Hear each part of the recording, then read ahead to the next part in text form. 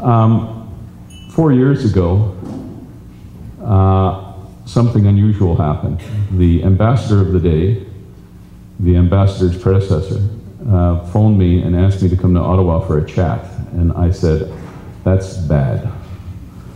So I went to see the ambassador's predecessor, and the ambassador said, I want you to do two things. And I said, What do you want?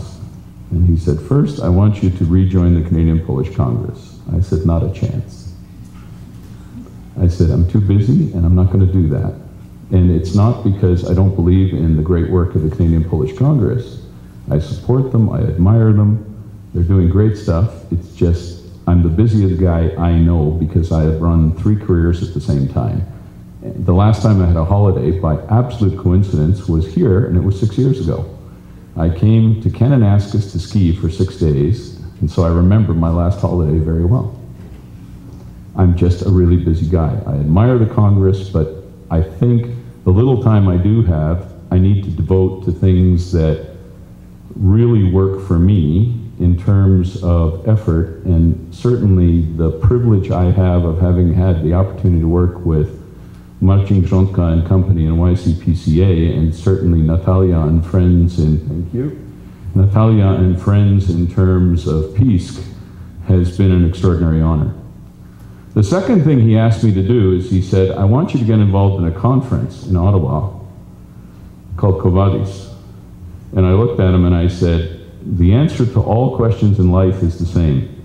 The answer to all questions in everyone's life is, it depends. And he says, What does it depend upon? And I said, Well, the Army commander has me traveling all over the world doing very strange things, and everybody else wants me to do things, and if I'm in town, I will go. That event was followed up, or that discussion was followed up by a visit from my friend, the then attache, who tragically died recently in Poland. And that was Commander Starobrat, an absolutely wonderful Polish officer who did great service to his country during his term as military attaché to this country, because it was with Commander Starobrat that I started another extraordinary journey, and that was a Canadian Army officer who ended up working for the Polish Army and ended up working for Pol four Polish Army commanders. And that was truly an extraordinary personal journey, because time has changed literally everything, but more on that in a minute. In any case, my friend Kazik came to see me in Toronto and he said, You will attend. Now, being an Army officer, being told by a Navy officer I'm going to do anything is naturally something I would normally resist, but I like Kazik so much I said it would be my great pleasure. And the rest is history. Four years ago, there was a spark. And a spark led to a fire. And a fire has led to many more fires and they're now burning not only in this country, they're about to burn in Chicago, and soon in Australia. And really, through the virtual world, the world you guys are very comfortable in and you live in, they're going to burn around the world, and in fact, they're already doing that. So, now that we have lights, let me begin formal remarks, and forgive me because, again, I normally don't read anything, but again, I don't want to forget. So let me start with formalities because they're important. We are honored and privileged this evening with the presence of extraordinary and distinguished persons. Mr. Secretary, Mr. Minister, Your Excellency, Consul General, Honorary Consuls, members of the Organizing Committee, Madam Chairperson, who I recall fondly with great trepidation visited me in Toronto about six weeks ago and all worried about what was going to happen, and I said, great things are going to happen. All of you, the reason this works, and it's already succeeded, is simply because you're here, because you've made a commitment to supporting what happens next. So, with that done, I'd like, you take, I'd like you to invite you on a journey to Canmore. I was born in Canada, and Canmore, as I said, is a special place to me because I visited many times, but again, it's the place of my last holiday. But Canmore is Alberta, and Alberta is my favorite province in Canada, even though I've been trashed ever since I got here because I happen to live in Ontario. but I love Alberta because Alberta is the future. And really, the entire purpose of us getting together here is not to talk about yesterday or even today. The purpose of our meeting here in Canmore is to talk about tomorrow and the future and in this country, Alberta is very much at the heart of what happens next. So the journey to Canmore. Earlier today, somebody made an observation that the brilliant work of Tony Mushinski and a number of you who are in the audience tonight created an extraordinary event called Poland in the Rockies. And they said that was the road to the journey that brought you here today. I think what you guys did in Poland in the Rockies, Tony and the rest of you, was truly spectacular. But it was not the beginning of the journey that brought you to this room today. I'd like you to take I'd like to take you on that journey. The journey actually started not a number of years ago, but in fact more than a thousand years ago, when a fearful group of people on an open plain in what is referred to as Central Europe chose not their genes, but chose to build a thing called a community. Now, at the beginning, that may very well have been a very self serving act, but it soon became so much more than a self serving act because a community of people, in fact, became a people.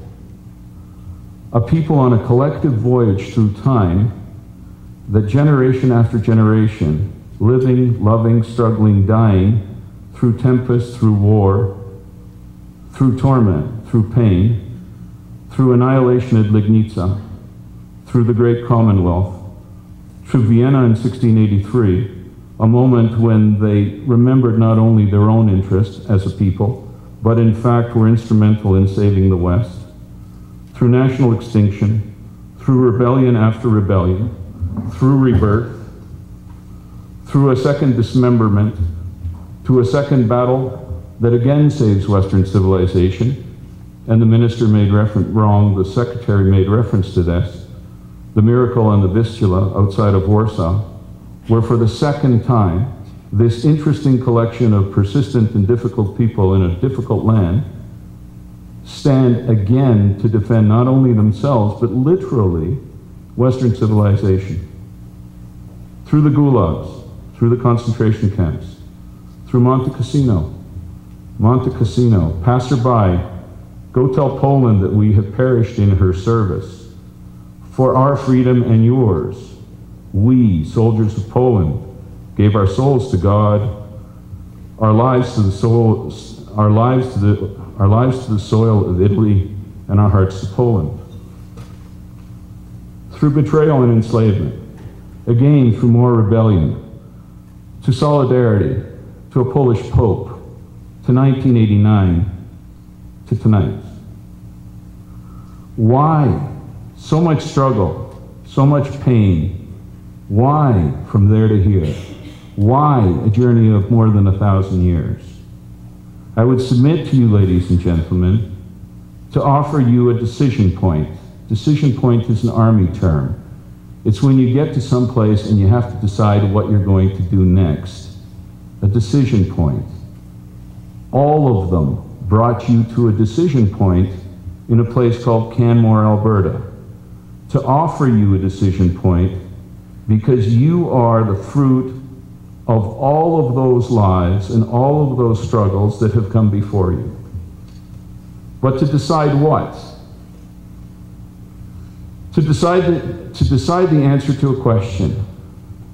It has been said by people in literary criticism that there are only 10 questions that explain the human experience. But in fact, there's only one question that is at the core of the human experience. And it is a question that precedes the idea of Quo Vadis. It's not where we're going that is the first question, that is the most fundamental question.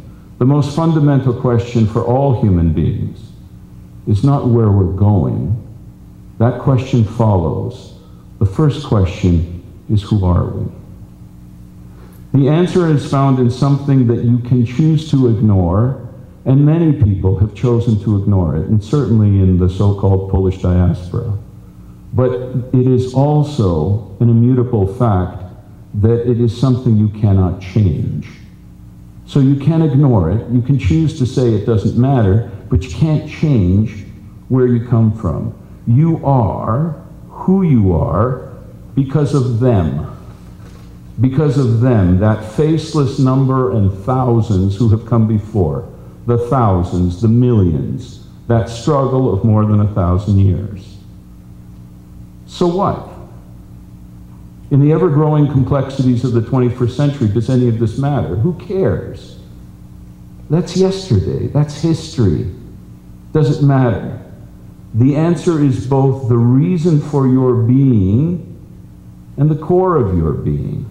Because you are the product not only of biology, ladies and gentlemen, you are here tonight because somewhere within your souls, or your hearts, or your minds, or perhaps all of the above, you have a sense of shared history.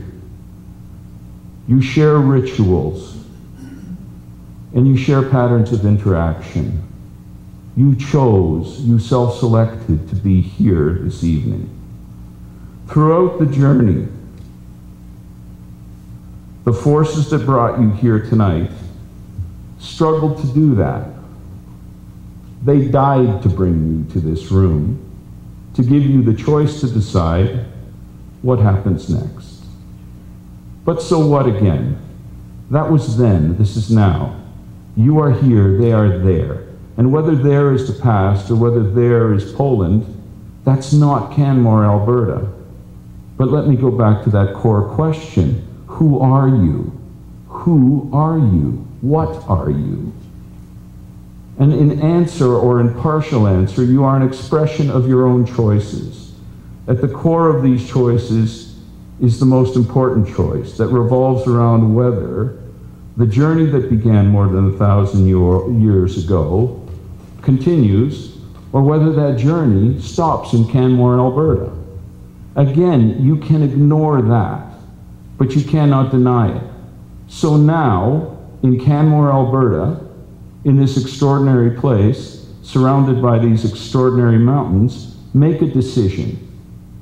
You can choose to become part of what is now a global culture, a thing that I struggle with because it is amorphous, it is without soul, it is without history, it is without sense. It has no past.